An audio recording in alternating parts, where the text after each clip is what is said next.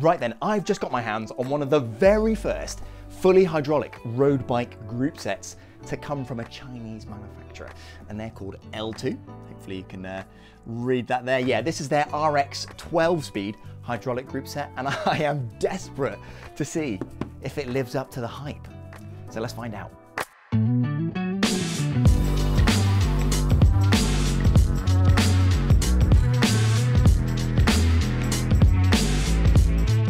Hello and welcome back, ladies and gentlemen, to another fully hydraulic uh, Trace Velo production. My name, as always, is, uh, yeah, it is Luke. Right then, a little bit of a rush job on today's episode, so ap apologies in advance. But I literally got this in the post uh, a couple of hours ago, and if you're anything like me, you've been desperate for a bit more information on this L-TWOO hydraulic group set here. So today, going to be taking this out of the box, doing a kind of initial impressions video, seeing what it's like, because I'm desperate to see if it's good, basically, see if it lives up to the hype. Now, first things first, I paid for this with my own money. So this is the top tier 2x12 carbon version of this group set. And from watching the original video on this topic by Joe from, uh, from China Cycling, the recommended retail price for this thing from L-TWOO should have been 2,280 RMB, which currently equates to about 270 quid. I paid way over that for this thing. So I paid 358 quid, so way over retail. But it's worth uh, bearing in mind that I didn't actually buy it from the official L-TWOO store. They don't stock these yet on AliExpress. I had to buy it from a reseller. So the cost is going to be higher for that reason. Um, so hopefully the price will drop. But uh, yeah, I'm a little bit out of pocket for today's episode. So if you want to, you know, drop a like, maybe throw some baguettes in the chat, that, that, would help. Um, anyway, enough of that, and let's have a look at this thing. Okay, so here it is in the retail box, and I realize it won't actually fit uh, on camera, so pull the camera out of the tripod. Um, so yeah, here it is in the box, really nicely presented um, and let's open it up. So yeah, there we go. Looks really, really lovely. So presentation is great. And also the, the foam, I know it sounds silly, but the, foam they've used to pack it is a really good quality closed cell foam for the group set, so should keep everything nicely protected during shipping. Now the keen-eyed among you might notice something is missing actually. So there should be a little bottle of mineral oil up here, but for whatever reason the seller couldn't actually ship this with the oil, I assume there's a problem kind of shipping flammable liquids in, in the post with stuff like this. So they actually uh, gave me a set of 160 millimeter disc brake rotors uh, in exchange there, so that's quite, quite nice. Um, but anyway, let's quickly go over what we've got here. So we've got both shifters there, left and right. Uh, we've also got both uh, brake calipers, one there and one there. Front derailleur and rear derailleur. Plus at the top here, we've got all the mounting hardware and it looks really comprehensive actually. Had a quick look at it, so that's, that is great to see. Anyway, let's get all this stuff out and look at it in some detail. Right, first off, here are the shifters. So they've got this kind of protective plastic wrapping on to protect the carbon from scratches during shipping, but I've taken it off on this one here. Now, one of the first questions I had actually was whether both the brake lever and the shifting paddle here, the shift lever at the back, whether they were both made of carbon, and I can confirm they both are. So on the previous mechanical version of this L-TWOO RX group set that I'm currently running on my other bike actually, the brake lever is made of the same kind of uh, unidirectional carbon, but the, the shift lever at the back is made of plastic. Whereas on this one here, both are made of carbon, which is really nice to see. And they both seem really good quality. I hope that's coming across on camera, but the, the, the quality of the carbon seems really high actually. So that is really good to see. Um, now another, another massive change with this shifter here is this thumb trigger. It's a pretty massive departure to the other thumb triggers that I've seen on previous L-TWOO group sets. Okay, so as I just mentioned, this is the build that I put together relatively recently, a couple of weeks ago, and I am using the L-TWOO RX 12 speed mechanical variety of this group set with a, it's a slightly older design from L-TWOO. And this is what the thumb trigger looks like. So it's right up the front here. And it's absolutely fine when you're on the tops of the hoods. You can reach that lever paddle at the back there and easily hit that thumb trigger. The, the problem is in the drops. You can reach that paddle at the front, but there's no way that you can reach that thumb trigger with your thumb. I mean, I have quite long fingers as well, and it's just not doable. I mean, it's a bit of a shame really, because overall the shifting with this group set on the back and the front is absolutely fantastic. It's just that, yeah, shift shifting in the drops, it's not not really possible. I mean, you do get used to it, and like I said, the shifting is really nice overall, but it is a definite shortcoming with this version of the group set. Now, on the new hydraulic group set here, L-TWOO have adopted this kind of Campagnolo or is it Campagnolo? Um, anyway, I've got this Campag style of thumb trigger here that kind of extends outwards. And although I've obviously not tested it, it's presumably designed to overcome those shortcomings and enable you to access all of the gears while you're in the drops. So really good to see a definite improvement over the previous generation design. Um, now the bleed port for these shifters is located in the top here underneath. Hopefully you can see that there, that's where the bleed port is. And the uh, hydraulic line fires straight out the back of the shifter and you can also route the gear cable this side or this side depending on bar fitment. So basically fitting these to a set of bars should be pretty straightforward as well.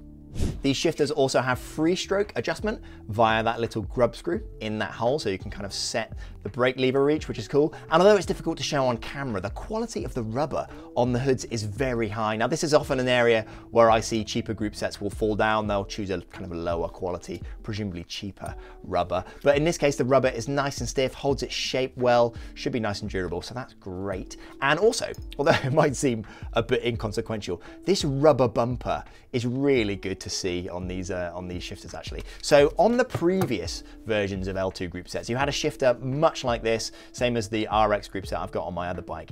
And the, the, the shifting paddle at the back here had a tendency to rattle against the back of the brake lever. So you can imagine as you're riding along, this is gonna rattle around. And in fact, you can see it's worn away the paint on the back of the brake lever there from, from rattling around. Whereas on this updated hydraulic group set here, they've put that little rubber bumper in there. So now yeah, doesn't doesn't make it make it make a sound at all really. So it's just a, a nice little high quality addition, and that's kind of a theme for these shifters in general. They just feel really high quality in hand, easily on par uh, with anything from like the likes of Shimano or SRAM, in my opinion.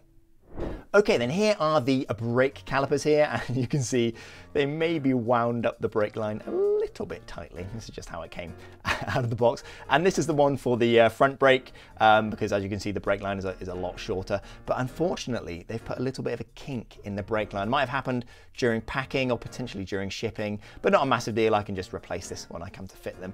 And um, these calipers, they look really good quality actually. But the one thing you might notice is, well, this group set is designed for road bikes, i.e. for a flat mount standard of, of brake caliper. So you would normally expect brake calipers on road bikes to look like this, um, but these ones here for this group set, these are clearly post mount calipers, which is generally accepted to be a mountain bike standard for uh, disc brakes. Now in the box with these calipers, you obviously get a series of adapter plates. So I'm assuming they will fit onto a standard flat mount road bike frame absolutely fine. But yeah, I thought it was kind of an interesting approach. I assume only having to develop a post mount uh, caliper as opposed to both a flat mount and a post mount caliper. I assume that will save L-TWOO a lot of money in, in research and development and, and production costs as well. So presumably L-TWOO can now use exactly the same caliper on both their road bike and their mountain bike group sets. So it makes good financial sense, I guess, for a smaller company like this to do that. Um, but other than that, there's not too much to say about these calipers. They use finned pads here for good heat dissipation. I believe the pistons in there are made of ceramic as well, which is something you'll see on a lot of Shimano group sets. And the pads themselves appear to be resin, which is great because I'm not, a, I'm not a massive fan of fully metallic um, pads. But there we go. Seems like a pretty decent caliper.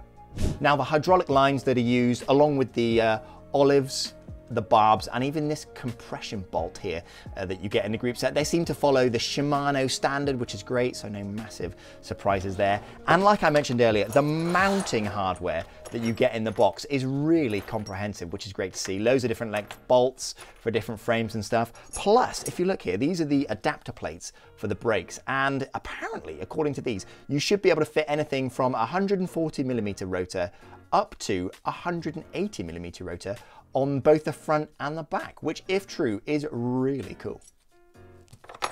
And finally, the brake fluid. As mentioned, the bottle of it was omitted from my set for shipping purposes, but it's the same as the regular Shimano brake oil, and I have a couple of bottles of this hanging around, so that's exactly what I'll be using. Um, anyway, enough of that, let's check out the derailleurs.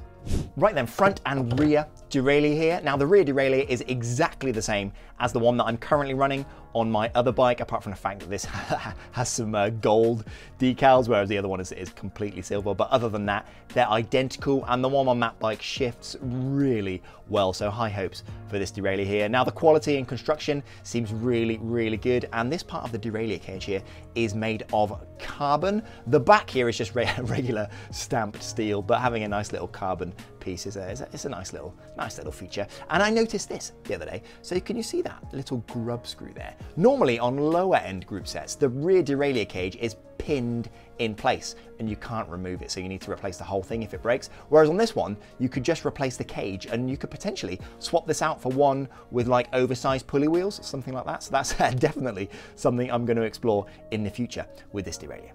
Now the front derailleur here has actually had a small design update, which is pretty cool. So all the L-TWOO group sets that I've used in the past have used a front derailleur exactly like this one, which is a very basic your style front derailleur. They work absolutely fine in my experience, but essentially when you install it, there's no cable adjustment on the front derailleur itself. So you actually need to install an inline barrel adjuster like this one here on my current bike.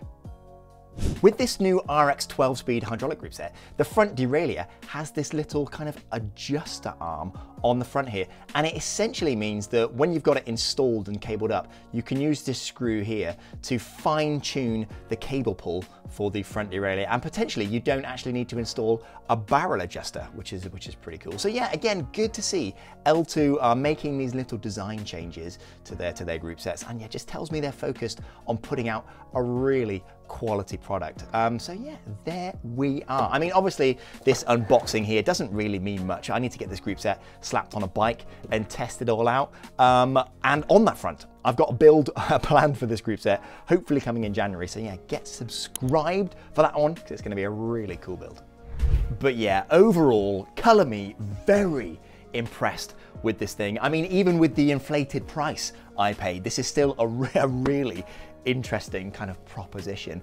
I mean, the choice of materials seem really good quality, the manufacturing tolerances seem really high, and just it's, it's apparent, at least to me, that they've really thought about the design of this thing and they've put some proper improvements in over previous generations, like that thumb trigger, the little rubber bumper on the back of the uh, brake lever, and even the little screw on the, on the front derailleur to aid in adjustment. I mean, it's clear to me that they've put a lot of thought into this and it hasn't been kind of rushed to market. At least that's what that's what I think. But yeah, I mean, it's it's all for nothing until, until I get this thing tested. Maybe it's garbage. You never know. Um, so yeah, got to get this on the bike. Really excited for that, especially with 105 going Di2 this year. I mean, that's so ridiculous. Maybe this is the new group set of the people we, yeah, we will see. So yeah, um, thanks for sticking with me. A bit of an odd episode today, but let me know in the comments what you think of this group set. It has certainly exceeded my expectations. So yeah, get subscribed so you don't miss the upcoming build with this thing. Hit the like button if you enjoyed this episode, and I will see you next time. Ciao. Those are my knees popping. Okay, quick bonus clip at the end here. Let's do the let's do the weigh-in. So um, for comparison, I'm going to be comparing it to 105 disc, so Shimano R7020, because I think it's it's a good comparison. They're kind of in the same price range. So the 105 disc shifters weigh 610 grams for the pair. These are 556, so a little bit lighter there. The uh, 105 disc rear derailleur weighs 225 grams. This is 220, so five gram saving. And the front derailleur on Shimano 105 is 95 grams.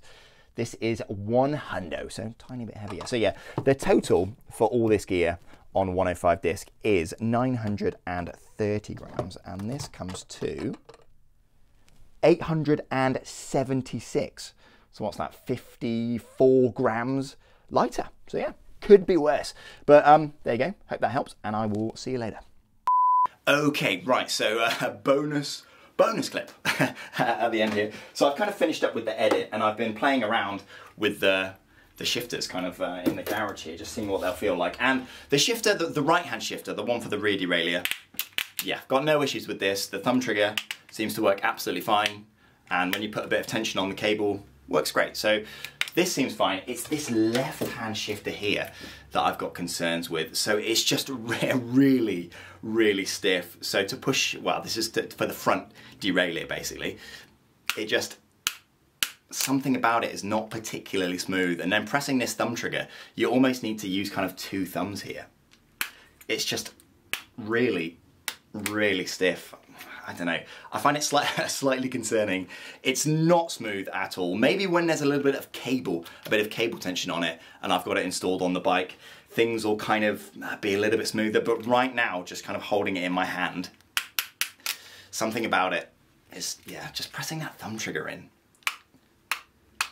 Oh, it requires the, a level of force that I'm, I'm almost uncomfortable putting through this thumb trigger here. But like I said, maybe it'll get better on the bike, but I've got some slight concerns about this shifter. But yeah, time will tell. Have to get it on the bike and try it out. Um, anyway, that, that's literally it. I'll see you next time. Ciao.